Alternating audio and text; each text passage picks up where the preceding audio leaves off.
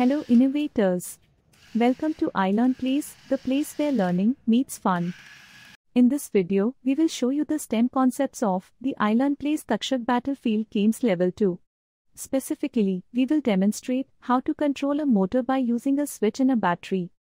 This tutorial is perfect for beginners and will introduce you to some basic STEM concepts such as connecting electrical wires, understanding the working of a motor and battery, and learning about voltage and current.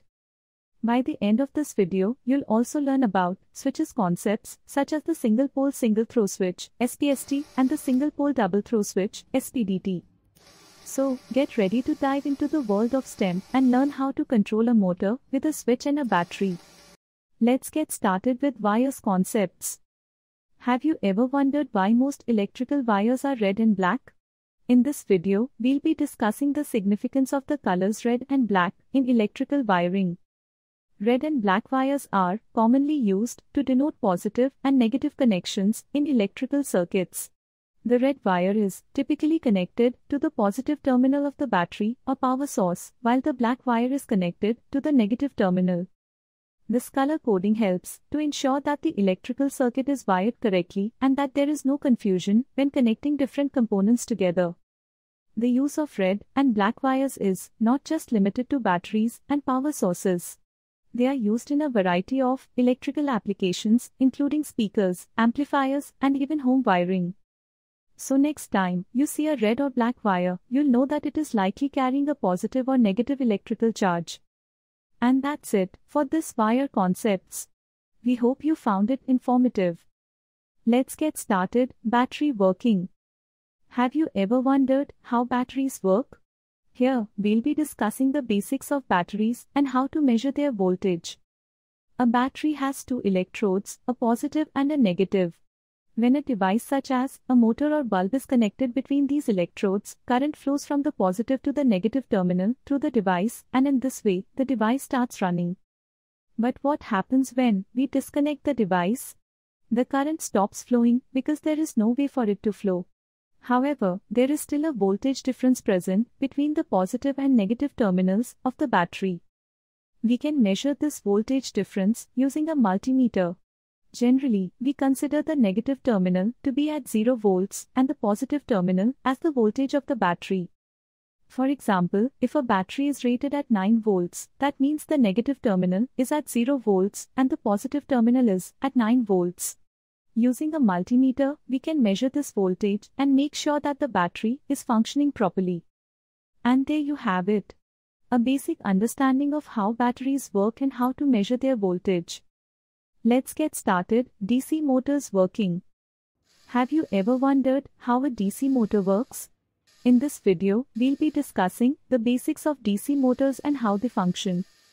In a DC motor, there are two magnets and a rectangular copper wire coil placed between them. The opposite poles of these magnets are aligned to each other, and both ends of the copper coil are connected with split rings labeled as P and Q. Two brushes are also in contact with the split rings, and a battery is connected between these brushes. The positive terminal of the battery is connected to X, and the negative terminal is connected to Y. When the battery is connected, current starts flowing between the positive and negative terminals through the split rings and the copper coil. The path of the current in the coil is ABCD. According to Fleming's left-hand rule, a downward force is applied to the AB part of the coil and an upward force is applied to CD, causing the coil to start rotating.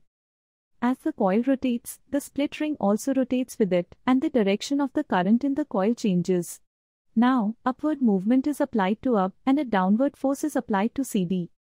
This process continues and the motor rotates at its full speed. This is how a DC motor works. And there you have it. A basic understanding of how DC motors work. Let's get started switches concepts.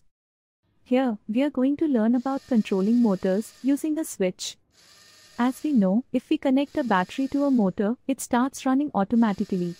But if we want to control the motor, we need to use a switch. Here, we are using an SPST switch, which means single pole single throw. This type of switch has two terminals, one is common and the other is used to connect to the load, such as a motor. And if we connect a switch in between the battery and the motor, we can switch on or switch off the motor using that switch. When we turn on the switch, connectivity is established between these two terminals and the motor starts running. In addition to the SPST switch, there are other types of switches available, such as the SPDT switch, which means single pole double throw. This type of switch has three terminals, one is common, and the other two are used to connect two loads. In the SPDT switch, the battery's positive terminal is connected to the common terminal of the switch, and we can connect two loads from the other two terminals. That's why it is called single pole double throw. In our case, we are using only one terminal of the battery, so it is called a single pole. In the next video, we will learn about double pole double throw switches. Thanks for watching. See you in the STEM concepts of ILP Battlefield Level 2 Task 2 video.